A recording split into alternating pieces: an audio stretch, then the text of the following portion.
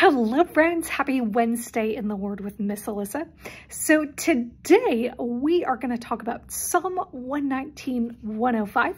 So if you want to grab a Bible and grab your tiny humans and go ahead and read that verse and then follow along. So has the power ever gone out in your house? And when it happens, or if it's ever happened, um, usually what's the first thing you look for? Typically a flashlight or maybe a phone that has the ability to be a flashlight.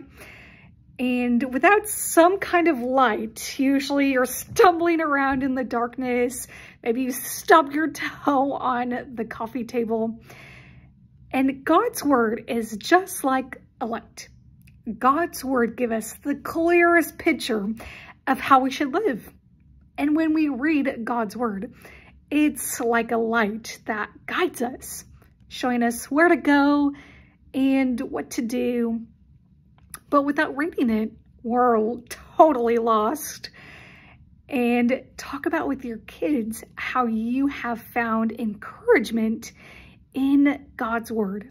Maybe if you're walking through um, a difficult season or maybe a difficult relationship with um, somebody close in your life, talking about how um, God's word has refreshed you and, and been that light when you didn't know what to do.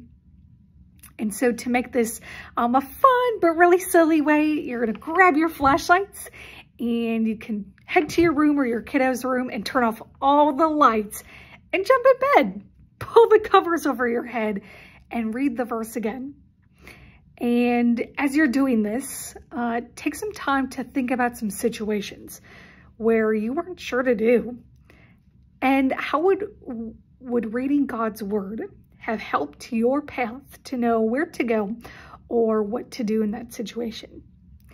And a great um, challenge and interactive piece is to ask God to help you make a commitment to read the Bible and listen to what God says not only in the situations where we don't know what to do, um, but to make that a daily rhythm in our lives and then of course in your children's lives and teaching them great spiritual disciplines of turning to the word of the Lord in situations where maybe we would just feel like we're in darkness and we're not sure. But to be reminded and encouraged that God's word is a light to our feet um, so I just pray that this is so encouraging for you and that you continue to be strengthened and encouraged by the word of the Lord. So thank you guys so much for watching and I will see you next week.